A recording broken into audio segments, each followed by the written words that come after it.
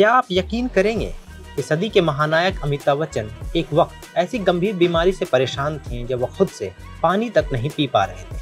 उनका हाथ पैर भी मूवमेंट करना बंद कर चुका था। यहाँ तक कि वो अपनी पल के झपकाने के लिए भी सक्षम नहीं थे। ये बातें आपको हैरान करेंगी, मगर ये सच है।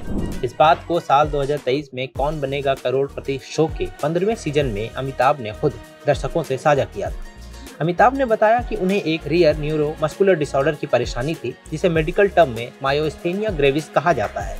इस बीमारी में इंसान की नर्व और मांसपेशियों के बीच कनेक्शन टूट जाता है, जिससे इंसान का मसल काफ़ी कमज़ोर हो जाता है। दिन ब दिन इस बीमारी से इंसान काफ़ी कमज़ोर महसूस करने लगता है।